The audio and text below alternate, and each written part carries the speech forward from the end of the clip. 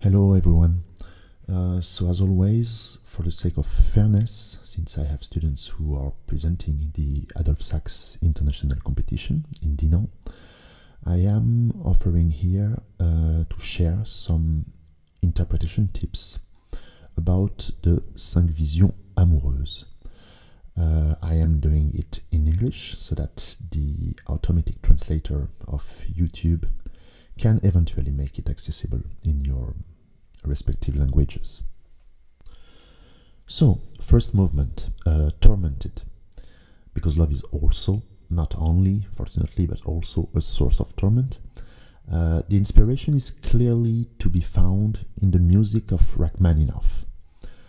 Uh, the first pianistic gesture, for example, is really typical. I refer you to the Sonata number 2, opus 36.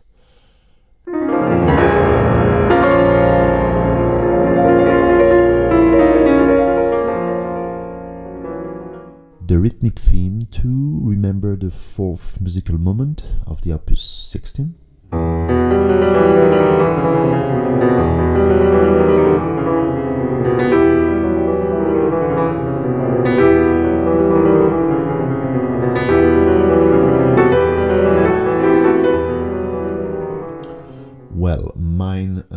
Sounds a little Rachmaninoff for dummies, but I wanted you to understand that it is both virtuosity and character.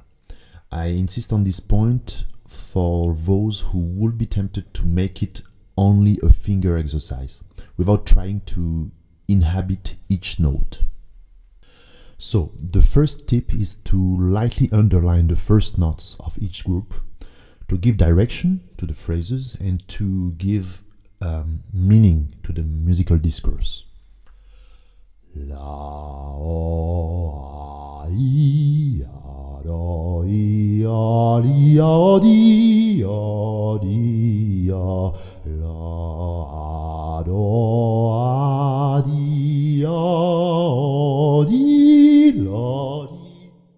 The second advice is to give weight to quarter tones and alternate fingerings to clearly mark the, the distortion of the timbre they really participate in the um, requested torment effect. So tone them, support them, put them in tension, uh, real sostenuto.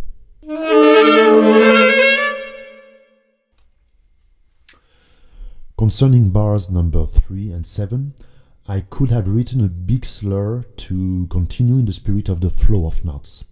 Some students interpret these bars as more rhythmic. Why not?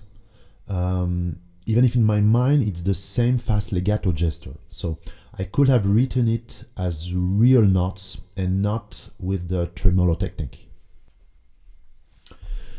And finally, from bar 19 to the end, uh, the challenge is really to obtain a diminuendo from mezzo forte, mezzo piano, piano to pianissimo, despite the, the low register. Uh, we will have to opt for a cleverly balanced subtone because the piano part becomes sparse. Uh, it slips towards the, the treble register, and the saxophone uh, at the end is really naked. To conclude, I'd like to point out that originally I had written a tempo of 92, which is super fast actually. And Simon Diricq, in his great wisdom, invited me to leave the tempo to the performer's choice. Truly, it's more a question of temperament than speed. But still, 92. Think about it.